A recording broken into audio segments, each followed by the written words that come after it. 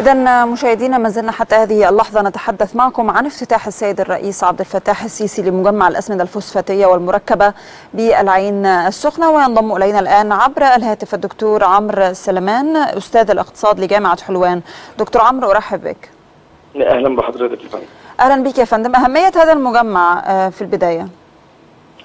يعني في الحقيقة إحنا إحنا بنتكلم على مجمع هو الأضخم في إفريقيا والشرق الأوسط. بنتكلم على تحول مهم جدا في المرحلة الجديدة من برنامج الإصلاح الاقتصادي المصري وهي فكرة التصنيع والتركيز على تغيير هياكل الإنتاج.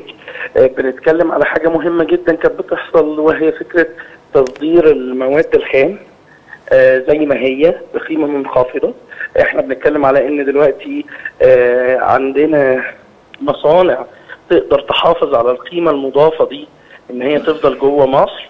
وبدل ما بنصدر المواد الخام بتاعتنا ببضع مئات الدولارات وترجع لنا بعد كده في صورة في صورة منتجات بنتكلم بآلاف الدولارات وبملايين الدولارات. لا إحنا بنتكلم على تصنيع محلي يغنينا عن الاستيراد من الخارج وإحنا عندنا فجوة وواردات أكتر من الصادرات بكتير. وفي الوقت نفسه كمان في الحالة بتاعتنا بتاعت المجمع النهارده إحنا كمان بنصدر إلى الخارج. وده معناه مزيد من الفرص لاستقرار الاحتياطي النقدي لاستقرار سعر الصرف ولدعم تنافسية الاقتصاد المصري. نعم. أيضا دكتور عمرو يعني أعود لذات النقطة. ربما السيد الرئيس عبد الفتاح السيسي تحدث في حديثه أثناء الافتتاح عن القيمة المضافة التي سيوفرها هذا المجمع لخدمة السوق المصري. مزيد من الإيضاح عن القيمة المضافة دكتور عمرو؟ يعني إحنا ببساطة بنتكلم على الفرق ما بين قيمة منتج معين وتكلفة المواد الخام الداخله في إنتاجه. يعني مثلا لو إحنا بنتكلم على إن وأنا هدي أمثلة تقريبية مش بالأرقام الحقيقية يعني عشان نسهل على السادة المشاهدين لو قلنا إن الطن بتاع الفوسفات دوت ب 1000 دولار ف بيطلع هنصدره خام زي ما هو فهنصدر مليون طن فإحنا بنتكلم على مليار دولار. يرجعوا لنا بعد كده لما يحصل عمليات في المصانع الأجنبية يرجع لنا حمض فوسفوريك وحمض كبريتيك مركز و باقي المنتجات أو المشتقات اللي بتخرج من هذه الصناعات.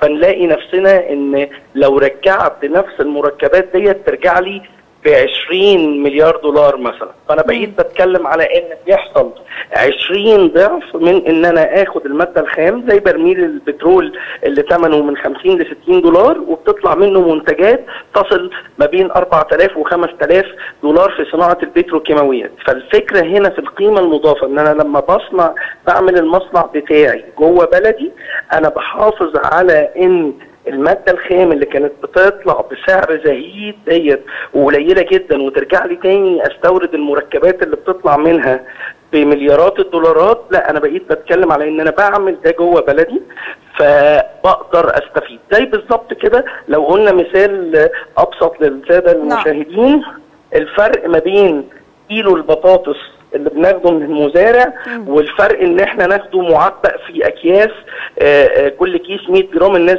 هنلاقي الفرق كبير جدا. لو جمعنا ثمن الأكياس دي هيطلع أكتر بكتير من ثمن البطاطس وهي خام. فدوت بنقول عليه قيمة مضافة. هي بتمثل أرباح للمصانع والشركات اللي بتعمل الكلام ده بتمثل أجور للعمال اللي بيشتغلوا في المصانع ديت بتمثل عائد على رأس المال الوطني اللي جوه البلد بتاعتنا وبالتالي ده بيعني مزيد من التقدم للاقتصاد المصري ومزيد من الدخل نعم. القومي ومن هنا فكرة التفكير على القيمة المضافة في كل حاجاتنا مش بس في البتروكيميكالز إنما كمان السلع الزراعية فرق كبير جدا ما بين إن إحنا نصدر الفواكه المصرية أو الخضروات المصرية في شكل كميات كبيرة وفرق كبير إن إحنا نعملها مغلفة ان إن يتعمل منها عمليات نعم. فرق كبير ما بين إن إحنا نصدر طماطم وإن إحنا نصدر صلصة نعم.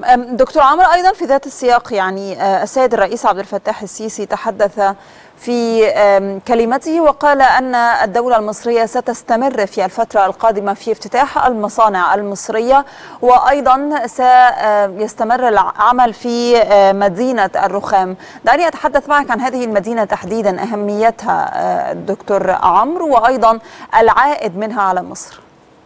آه نعود تاني لنفس ال السؤال السابق بتاع القيمة المضافة. فرق كبير جدا ما بين إن إحنا آه آه نصدر آه آه من المحاجر المصرية آه رخام فقط وما بين إن يبقى عندنا مصنع زي المصنع اللي موجود اللي هنا السيد الرئيس يفتتحه إن شاء الله السنة اللي جاية آه، في نفس التوقيت. تقريبا بنتكلم على مصنع ينتج 30 مليون متر مكعب من الرخام سنويا.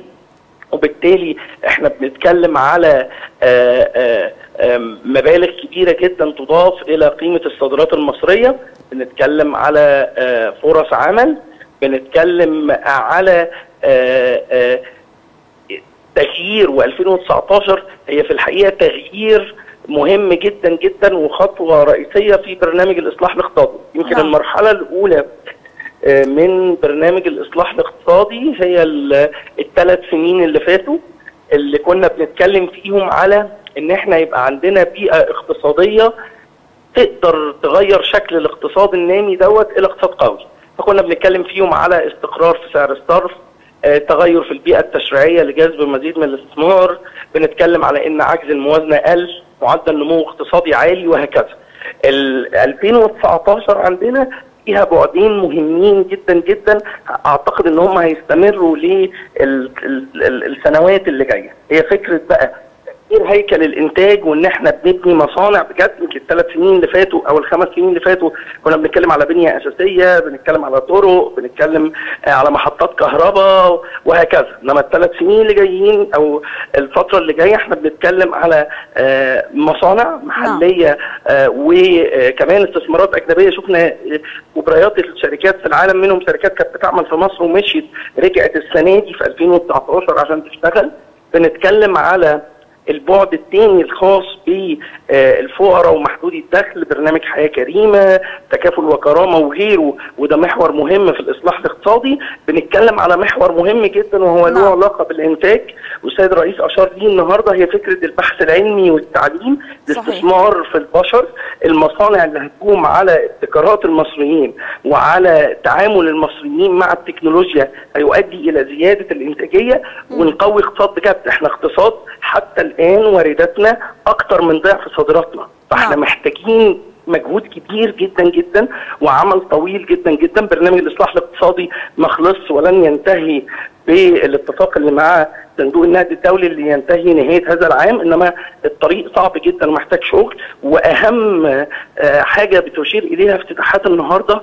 انتهى عهد افتتاح أو وضع حجر أساس لمشروعات. إحنا بنتكلم دائما على مشروعات تعمل مشروعات نعم، انتهت صحيح. بالفعل وبنتكلم على إن مهما كان من مؤامرات دولية أو عمليات إرهابية أو قوى من الشر تتربص بالإنجازات اللي نعم. بتحصل على أرض مصر الإدارة المصرية والشعب المصري بيقول إحنا هنفضل آه، نشتغل وهنفضل ندعم الاقتصاد بتاعنا نعم. زي ما بالظبط بنحافظ على الأمن القومي. وصلت الصورة. أنا بشكرك شكرا جزيلا. كنت معي عبر الهاتف الدكتور عمرو سليمان أستاذ الاقتصاد بجامعة حلوان. شكرا جزيلا لك. مشاهدينا نذهب معكم الآن إلى فاصل قصير. بعد هذا الفاصل سنعود لاستكمال هذه التغطية.